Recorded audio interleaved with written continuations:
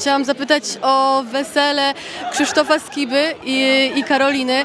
Jak, jak się wtedy bawiłeś, jak to wyglądało?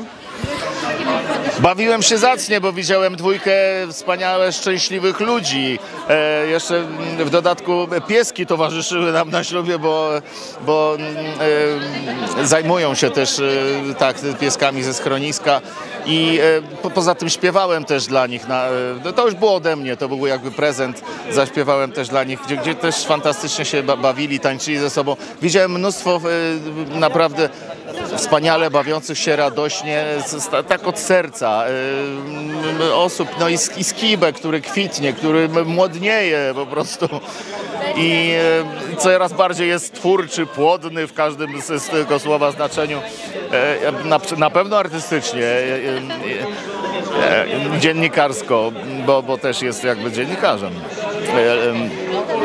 No, ja wspominam fantastycznie. Bawiłem się, tańczyłem w ogóle jak za dawnych dobrych lat, tak bym powiedział. A właśnie wspierałeś w tych takich trudnych momentach, bo po tym ślubie było trochę e, hejtu w sieci na temat właśnie różnicy wieku. Czy wspierałeś, byłeś blisko? Ale zawsze są hejty.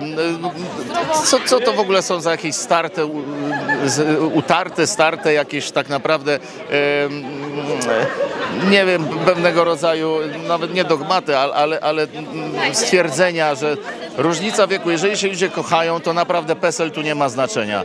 Mm, Oczywiście, że może być jakaś przepaść, ale, ale to zależy od, od tego, jak są dane osoby wychowywane, jak, jak wzrastają, w jakiej atmosferze rodzinnej, jak, na ile się potem rozumieją te dwie osoby, na ile... Ja myślę, że tutaj intelekt odgrywa bardzo ważną rolę i, i tutaj oni, on, ludzie nie mogą sobie mówić, ale dopóki nie poznają danej osoby, tutaj na przykład, nie wiem, wybranki Krzysia Skiby, to nie mają prawa się wypowiadać tak napra- naprawdę na jej temat. A to jest fantastyczna, bardzo inteligentna osoba i, no i Krzysiu się zakochał też w jej intelekcie, nie, nie tylko w urodzie.